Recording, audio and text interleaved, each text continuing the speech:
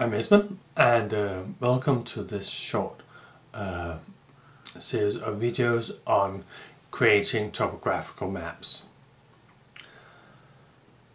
We, what we'll be talking about here is basically what is a topographical map. We'll be talking about how to create topographical maps in QGIS. So those main two elements will be covered in the following videos. First of all, what are we going to learn about? Which tools are we going to learn?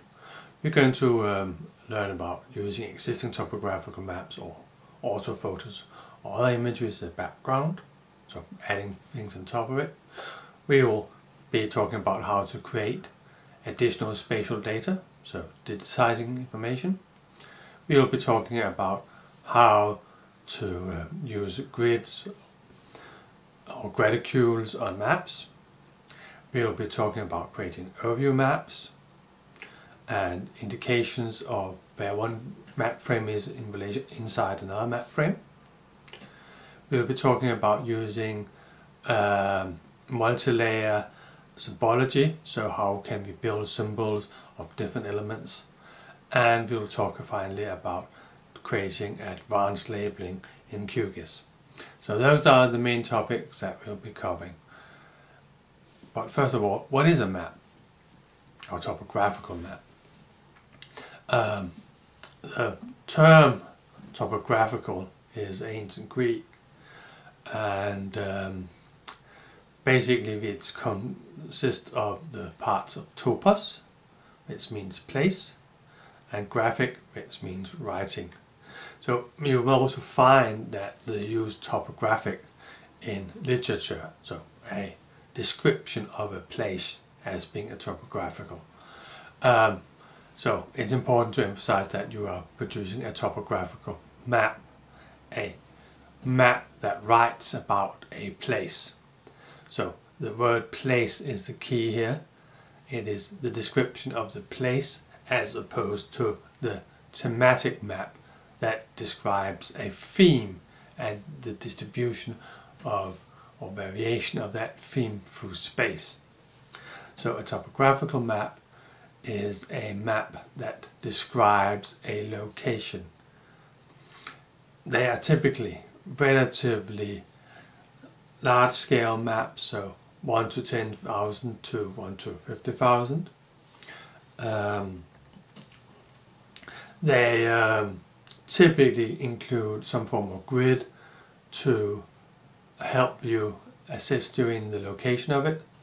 They typically uh, have a detail map and then a overview map which can be used to locate yourself in a larger context. And they typically contain things that are of nominal character. We have in another video talked about different types of information. So we have nominal, that is with no internal ordering. We have ordinal, where we know that something is more than something else. And then we have interval and ratio, where we can quantify the difference between things. Um, and in the topographical map, most of the features are nominal, so we can talk about forest, lake, church, school. There are also some ordinal things, such as road networks, we have a dirt track, primary road, secondary road, motor road. So all of these are ordinal. We know that the motor road is more than the dirt track, but we can't quantify that. And finally, there are also some elements of interval data, such as elevation. So, but the majority of the information on a topographical map is nominal in its character.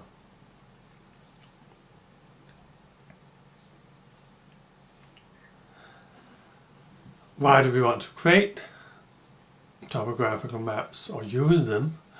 Um, well, most often we just want to assist in showing where something is happening. Um, so the most common situation where we're using a topographical map as a background is we want to say, okay, this is where this like accident or burglaries or whatever. So we're using them as a backdrop to help locate, put into context something else. We also use them to depict impacts of events, floods, forest fires, that type of thing. What areas have been covered by this event? Um, we might also want to show how an area can be utilized. A, having an existing map and then putting a festival layout on top of it or using it to show how street network can be reorganized to make a more pleasant living environment. And finally, we also find that we use them to help people navigate people. Say, okay, don't go into this area, there's a breeding eagle or there might be something interesting to see if you go along this path or this is where the conference venue is. So we're using them to help people show where to go and where not to go. So these are all reasons why we use topographical back maps as backgrounds for additional information. And that is probably where most people use topographical maps. There's not so many that produce topographical maps of their own, but the situation is typically that we have a topographical map and then we use them as a backdrop to put something else on top of it.